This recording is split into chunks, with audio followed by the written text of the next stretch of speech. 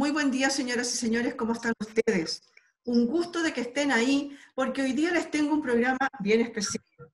Un programa con una persona que es un personaje en realidad en San Bernardo. Él es profesor de geografía e historiador, ha escrito sobre varias cosas, ya le vamos a preguntar, y sobre todo tiene una historia de San Bernardo, y vamos a hablar con don Raúl Besoaín.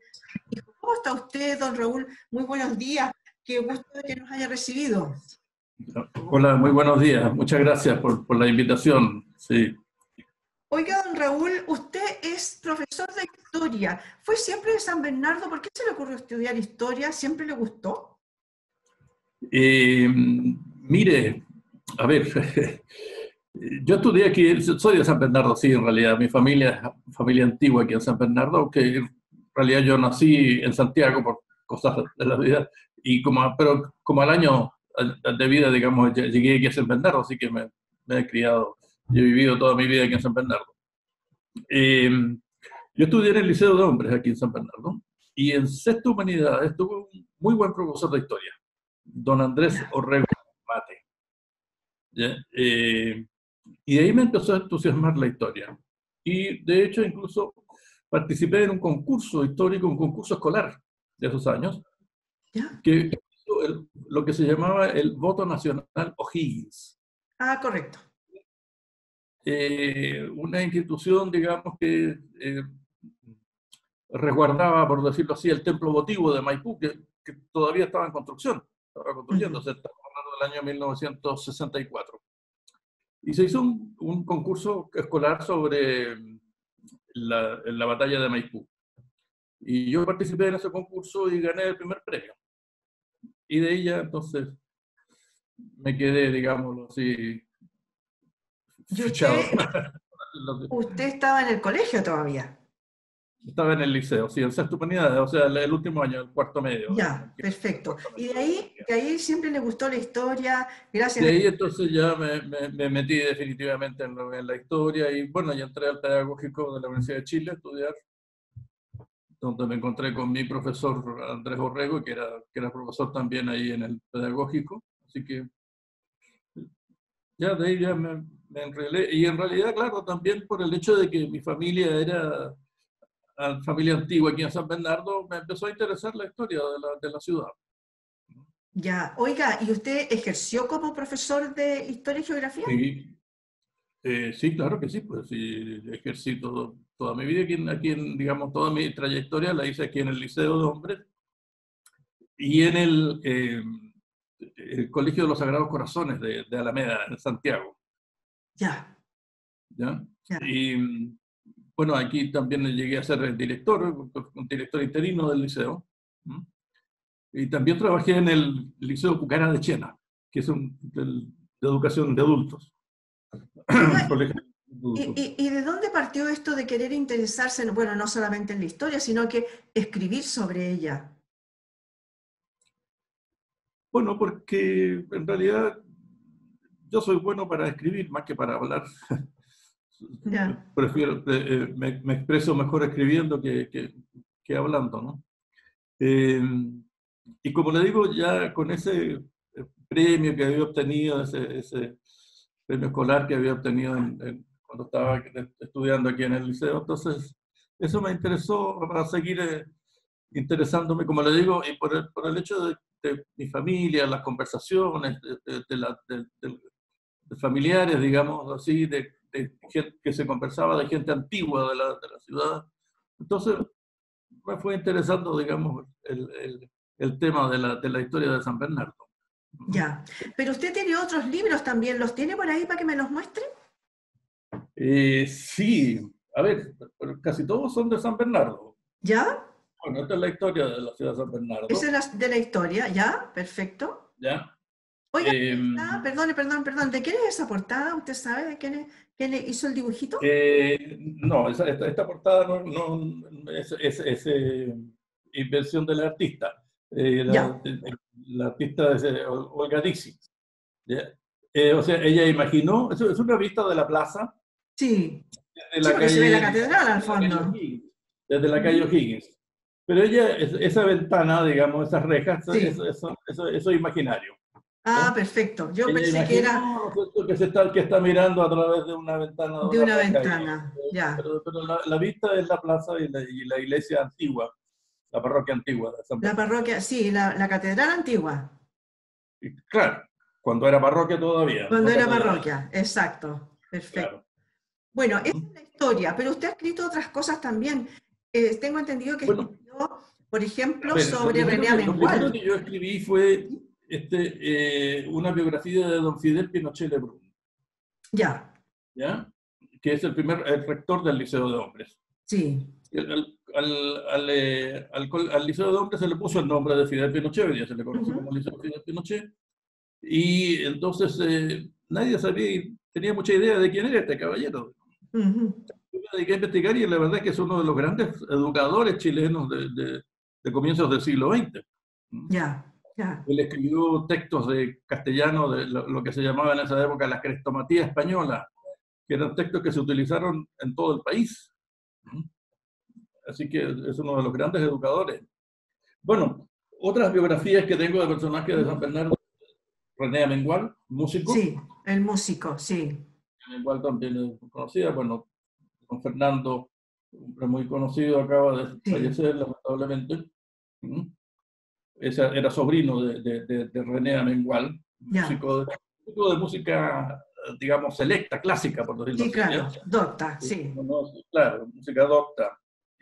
Eh, esta otra biografía de Don Miguel, Don Miguel Elwin, un verdadero personaje de San Bernardo también. También una familia antigua de San Bernardo. También una familia antigua. Bueno, ya falleció don, Patricio, falleció don Andrés y hace poco tiempo también falleció su hermana Carmencita, que era la única que vivía aquí en San Bernardo, que vive viviendo aquí. Sí, sí.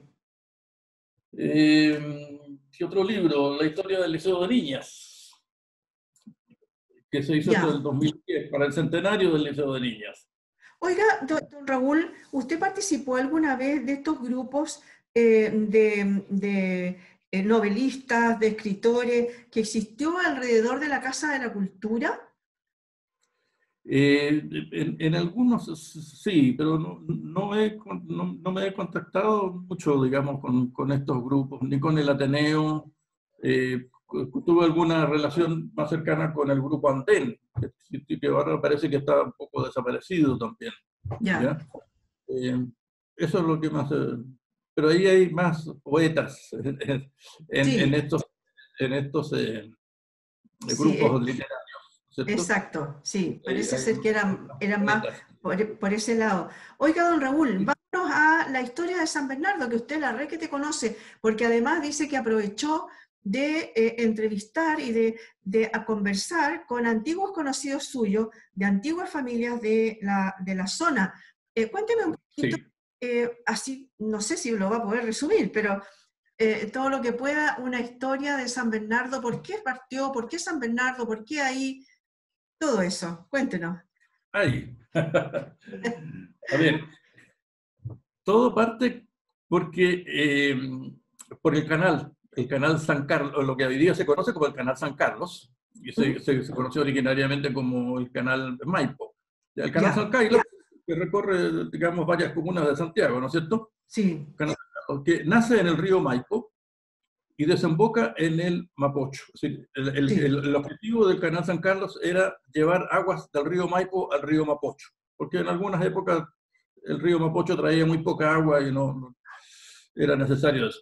Bueno, a partir de allí, y eso se encargó, se le, ese es un proyecto que venía de la colonia y después lo termina don Bernardo Higgins, lo completa don Bernardo Higgins. Sí, la canalización, sí. La canalización del, del río. bueno, y a partir del canal del río Maipo, entonces, de ese canal San Carlos, se, abren otros canales y, y, empiezan a regar toda esta zona que era una zona pedregosa, era una zona árida absolutamente. Aquí no había nada. No era bueno para la agricultura. No era bueno para la agricultura, porque no era, no era regadío, salvo las zonas más cercanas al río Maipo. Eran las zonas más, eh, digamos, que, lo que sería hoy día más o menos lo Herrera, Careretango, digamos. Ya. esos sectores, ¿ya? esos, esos tenían regadío, pero lo que era acá el centro propiamente tal de San Bernardo, no.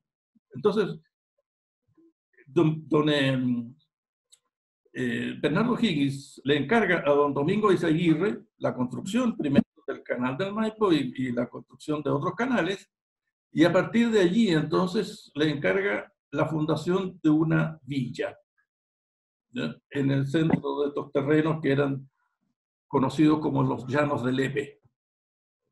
Se les conoce. Y es así entonces cómo se funda esta ciudad o esta villa, digamos, de San Bernardo, el 9 de febrero de 1821. Ya. Se hace un trazado de las calles, de acuerdo a las normas, a las mismas normas que venían de la colonia, en realidad, porque estamos, estamos hablando de 1821, ¿no es cierto? Estamos recién saliendo de la, terminando la, la independencia, estamos recién saliendo de la... Por lo tanto, las normas que había establecido el rey de España para la fundación de ciudades es la que se establece aquí. El centro, una plaza de armas, ¿cierto? alrededor la, iglesia y los edificios públicos de la municipalidad, o lo, que era el cabildo en la, antigüedad, en, la colonia. O sea, se, se siguen las mismas reglas de la fundación de ciudad de, la colonia. Como digo, si usted ve, por ejemplo, la Plaza de Armas de San Bernardo, tiene más o menos las mismas características de la Plaza de Armas de Santiago. Por ejemplo, la catedral, a un costado, el edificio de la municipalidad, el cabildo, al otro costado, ¿no es cierto? La gobernación. Bueno, estaba originariamente en Santiago el Palacio de Gobierno, que después se traslada al Palacio de la Moneda, pero originariamente el Palacio de, Gobierno en, frente a la Plaza de Armas. Sí. Tengo entendido dónde está el correo hoy día, ¿no? De San Bernardo. Ahora, y el nombre de San Bernardo, obviamente por un homenaje a don Bernardo Higgins, que es el inspirador de, de, la fundación de, de la villa. Y el que firma el decreto de fundación. Oiga, ¿y cuándo? Por por Bernardo Higgins. A ver, estamos casi a los 200 años ya de San Bernardo. Estamos muy cerca de los 200 años. El, próximo año ya serían los 200 o sea, en febrero del próximo año, claro. Exacto. Ah, ¿Cuándo San Bernardo eh, dejó de ser una villa y empezó a crecer cada vez más? ¿Por qué empezó a crecer y por qué grandes familias se fueron a vivir allá? Eh, a ver, como decíamos, Domingo Seguir retrasa un plano de la ciudad, que los límites de este plano son más o menos hoy día por el norte en la Avenida Colón, por el este la Avenida América, por el sur San José, la calle San José, y por el oeste la calle Barros Arana. Ese era el, es el límite que, que, trazó eh, don Domingo Izaguirre, ¿no es cierto?, teniendo al centro, como decíamos, la, la Plaza de Armas, y, y, esos, eh, y esos límites más o menos se mantuvieron prácticamente durante todo el siglo XIX. Ahora, en un comienzo, como en todas las cosas, ¿no es cierto? Los comienzos fueron bastante difíciles, tanto así que don Domingo Izaguirre hacia 1830 consigue una nueva ley de fundación de la villa, en donde se, eh, se, se, asignan sitios, a la gente que desea eh, venirse a, a, vivir acá y de acuerdo a lo que había establecido el, decreto de fundación de Bernardo Higgins, debía preferirse a las viudas y a, los soldados y a las viudas de quienes habían combatido por la independencia. Como un incentivo para poblarla. Exactamente. ¿ya? ya. Oiga, ¿y cómo era la conectividad en ese tiempo entre San y Santiago? ¿Cómo era la conectividad? Había... Bueno, a ver, eh, la colectividad... El rey, ¿no? Era, era lo que se llamaba, más bien lo, que se llamaba el camino de la polvareda, que imaginarse cómo era, ¿no? Se, se, llamaba la polvareda. ¿Y qué es lo que es hoy día la Gran Avenida? Claro, ya. ¿Ya? La Gran Avenida, esa fue la, siempre la, la conexión con, con Santiago. Y, y, se hacía a través de, de las diligencias, digamos, de, los, de, la, de, la, de la época. Claro, carruaje. Mm. Carruajes, claro, sí. O, simplemente caballos, ¿no? sí. O carretones, o carreteras, digamos. Sí. Oiga, pero eh, después... Hasta 1850, perdón, en 1857 se inaugura el ferrocarril. Ya. Se inaugura la estación de ferrocarril y se inaugura y ahí ya entonces va a haber una conexión mucho más directa y rápida con, con Santiago durante mucho Sí. tiempo. Sí. Ahora, eh, durante el siglo XX ya empieza primero a pasar la carretera, pero era el camino obligado a- para el sur, ¿no? Eh, Exactamente, sí, correcto. El- el- era el camino obligado para el sur porque eh, se salía por Gran Avenida. Se llevaba Claro. aquí a San Bernardo y de aquí a San Bernardo se tomaba, eh, digamos así, la Avenida Portales sí, y, y ahí se conectaba con la carretera al sur. exacto. Sí, Y la, la- la conexión que va por, la- por el- por la- por lo que es hoy día la, la ruta 5 sur, ¿no es cierto? Eh, claro. la autopista, hoy día eh, eso es, aparece en 1970 más o menos, Claro, es bastante, bastante cercano, digamos, a- a- al día. por supuesto, bastante cercano, claro. Pero, pero antes de eso hubo una, eh, una gran, un gran incentivo para que creciera eh, San Bernardo y tengo entendido que fue a partir de la maestranza. ¿O estoy equivocada? Sí, sí, pero eso sí. A ver. Pues yo me salté muchos años entre medio. Volvamos, volvamos al siglo XIX. Sí, yo me el salté siglo muchos años. ¿no es cierto? Eh, San Bernardo tuvo, tenía fama de tener un, un- un- un aire más fresco y entonces era un lugar de veraneo para, para la, la familia de Santiago. Para la Ya. familia de Santiago. Porque hay que pensar que además que no se acostumbraba a ir a la playa. Ya, no era un- perfecto. no, no se iba a la playa, no, no existía, digamos, la costumbre. ¿no? Por lo tanto, era este el lugar de veraneo de la, de la- de la aristocracia, principalmente santiaguina. Ya, Y aquí entonces se establecen varios eh, personalidades, personalidades del, del- del mundo de la cultura, principalmente. Eh, tenemos a don eh, Diego Barros Arana, por ejemplo, que tenía su casa aquí. sí, Eh, Claudio Mate Pérez, el autor de- de- de- del silabario Mate, o silabario del ojo, como se le conoció mucho tiempo. sí, el del ojo. De la sociedad, eh, ¿cómo se llama? Que de- de lo que hoy día, hasta, hasta hoy día se conoce como las escuelas Mate, Perfecto. De instrucción primaria, si no me equivoco. algo- Sí, sí. Eh, en fin, hay, hay- varias personalidades. Monseñor eh, Larraín Cantarillas pero también tenía su de aquí, Sí. Monseñor Larraín Cantarillas, el primer rector de la Universidad de Chile. Y que tuvo mucho que ver, tengo entendido, con el hospital. Monseñor Larraín Cantarilla, el primer rector de la Universidad Católica. Y el primer rector de la Universidad de Chile, don Andrés Bello, también vivió aquí en San Bernardo. Ya, ya. Bueno, y Eh, estas familias tenían entonces sus fincas ahí como para ir al manejo, porque además era más claro, viajar hasta San Bernardo, que no tenían que pasar por cerros ni por la cordillera de la costa, como para irse, por no, ejemplo, a claro, la playa. exactamente. Mm. exactamente. Y, y se viajaba en tren. Se Además. viajaba en el tren, ¿no? que, era, que era un viaje, digamos, para esa época, digamos, novedoso y, y- largo, por decirlo Y así. largo, seguramente deben haber llevado hasta Cocaví para ir hasta San Bernardo. Claro, claro que sí. Sí. Eh, bueno, eso es. Entonces, el, eh, en, el siglo en, en 20, en 1920, se, se- bueno, o a comienzos de 1900 empieza la idea de la construcción de esta maestranza de ferrocarriles, que Ujú. se inaugura en 1920. ¿ya? Ya, ya. Y, ya- eh, y ahí eso, se produce un cambio en realidad en, la- en el carácter de la ciudad. ¿En qué Porque, eh, por un lado, la llegada de una población obrera eh, importante, ¿no es cierto?, Ujú. aquí en San Bernardo, contingente de obreros importante que, que implica, ¿no es cierto?, que se construyen poblaciones en, el- en lo que era el sector sur, por decirlo así, que es, el centro de la Plaza Guarelo, lo que hoy día es la, la Plaza Guarelo, ¿no es cierto? Claro, ¿Mm? Ahí se construye toda una población para, para los, los, eh, trabajadores de la maestranza. Y por otro lado, también ya en 1920 ya está el- ha- ha empezado a aparecer, digamos, la costumbre de ir a la playa en el verano. ya. Y entonces, estos dos hechos, de cierta manera, marcan el cambio y San Bernardo deja ya de ser el, el centro de veraneo. Porque ya ahora la gente va a Cartagena, va a Viña del Mar, ¿no es cierto? Y a otros balnearios de- la costa.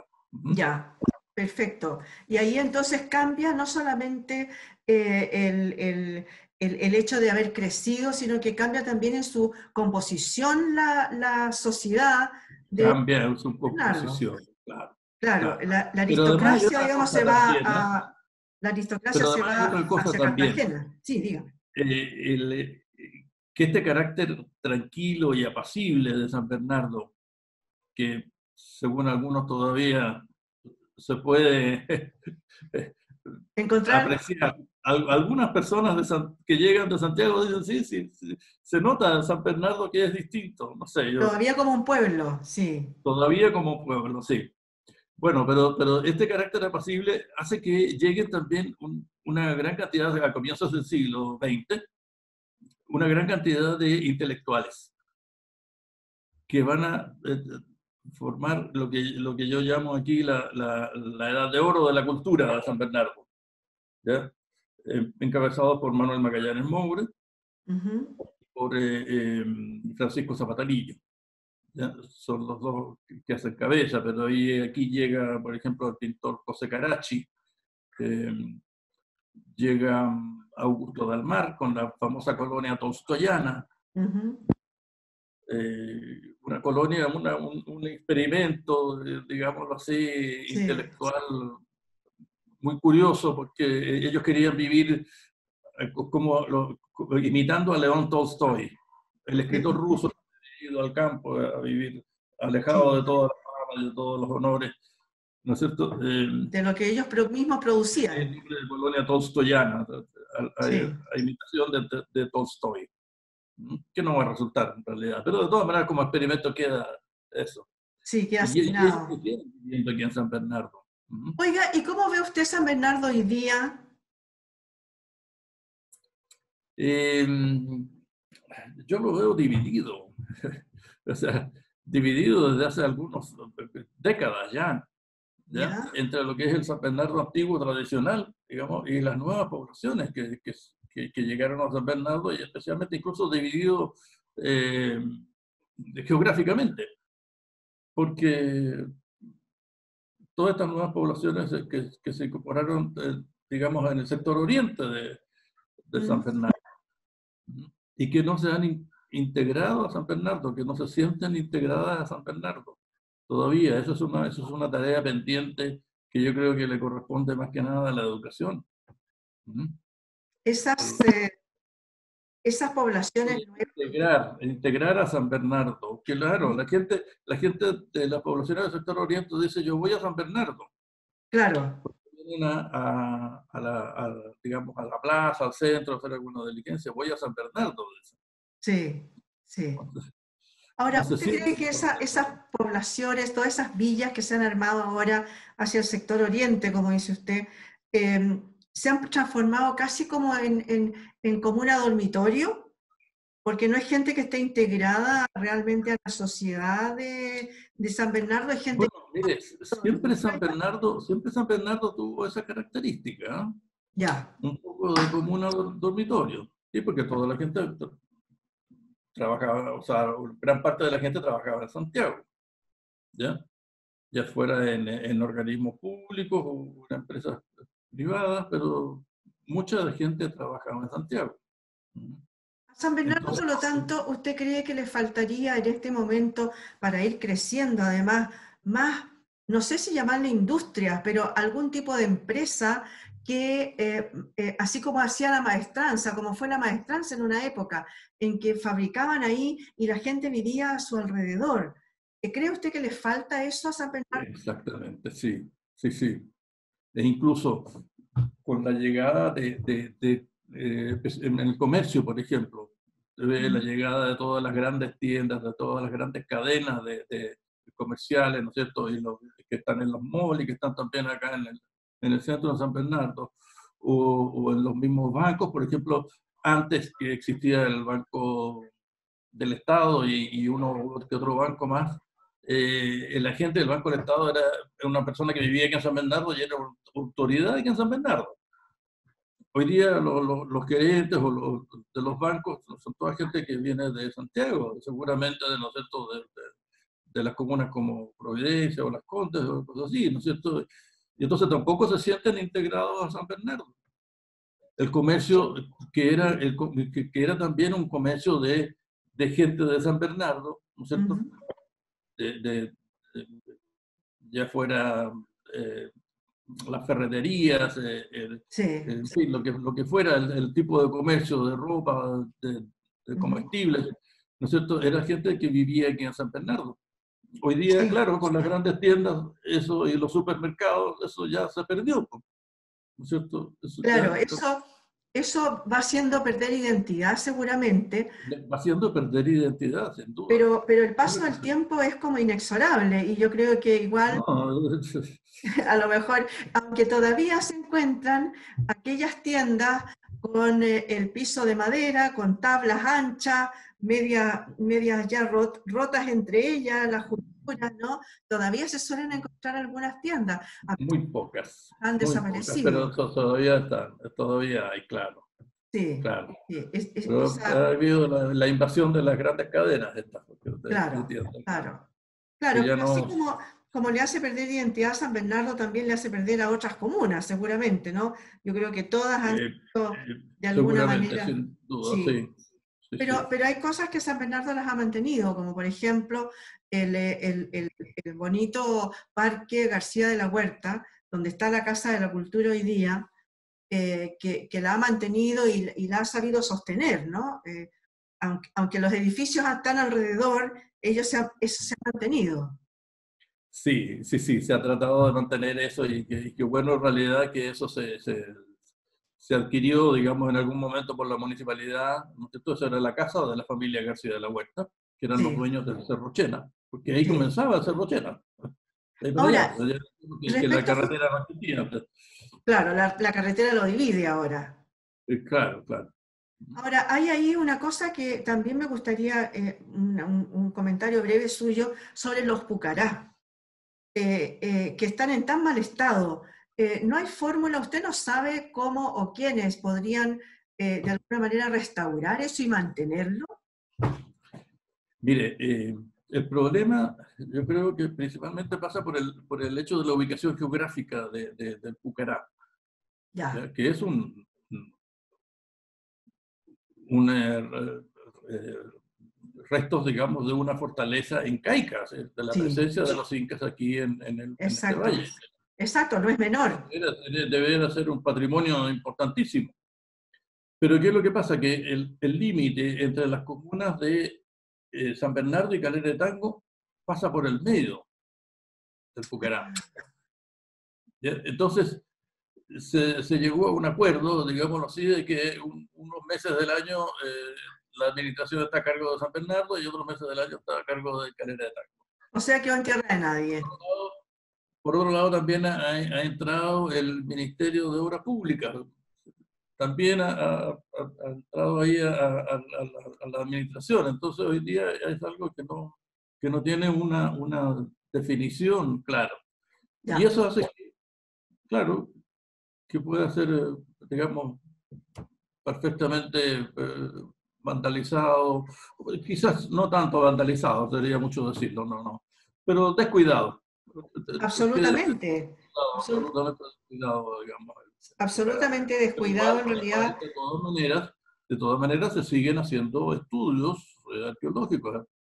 Eh, Rubén Steber, que es un arqueólogo importante, que es el que más ha estudiado y sigue haciendo estudios acerca del Pucará. Él fue el que reconstruyó el Pucará el año 75, 76, por ahí. Él reconstruyó el Pucará. Él lo, puso, digamos, de relieve ahí. ¿ya? Y él ha seguido haciendo estudios, hasta ahora último, haciendo estudios, más estudios acerca del Pucará. Y hay muchos otros, eh, eh, digamos, arqueólogos que también están, que siguen haciendo estudios acerca del, del Pucará. Pero, pero como digo, claro, eh, es un descuido que, que, que, nadie, nadie se hace cargo, digamos, en definitiva, de, de la administración y de, ese patrimonio que es, importantísimo. Exacto, al final quedó en tierra de nadie y por eso al final nadie, lo, lo, lo, cuida, ¿no? En realidad yo la última vez que estuve ahí, eh, em, la gente va a hacer asados ahí, sacan las piedras para, para armar ahí una, una fogata, rayan, Entonces, y es, como dice usted, un, un patrimonio, en realidad debiera ser un patrimonio y que estuviera muy bien cuidado. Incluso se le podrían hacer visitas guiadas con alguna persona. claro que sí. Tema, sí. Claro. Don Raúl, no sabe el gusto que he tenido, yo sé que es muy cortito el tiempo, eh, algo hicimos una pincelada, ¿no es cierto?, sobre usted. personaje de San Bernardo. Oiga, ¿ya entregó eh, la dirección del Rotary? Ah, bueno, sí, no. El, Rotary cambia su, directiva todos los años. Ya. Yo ya fui presidente del año 50 eh, y... Perdón, estoy hablando tonteras. Está un poquito eh, lejos. El, 2018-2019. Claro, sí, así que ya entregó la... Porque el, cambio se hace en, ¿cómo se llama? Perdón, que se me, se le desarmaron los anteojos. Se me desarmaron los lentes, a ver, voy a cambiar. ya, ahora sí. Eh, sí, 2018-2019, porque el cambio se hace en junio. El, primero de julio. Así que, así que hace poquito le tocó entregarlo. Tenemos ya el, la segunda, después viene otra presidenta y hoy día tenemos otra que es Elías Rojas. Ya, perfecto. Para el periodo 2021. Ya. Oiga, maravilloso haber conversado con usted. Eh, me, ha dado mucho gusto haber conversado con usted sobre el tema de San Bernardo, de sus riquezas, de sus pobrezas, eh, de en qué está en este momento eh, esta, esta comuna ciudad, ¿no? Muchas gracias, don Raúl, por haber estado con nosotros hoy día. Muchas gracias a usted por su invitación, pues, cuando desee, Muchas gracias a ustedes, señoras y señores, también por haber estado aquí conociendo un poquito más de esta comuna ciudad donde estamos nosotros como canal. Eh, muchas gracias por haber estado ahí. Esto fue en tiempos de coronavirus.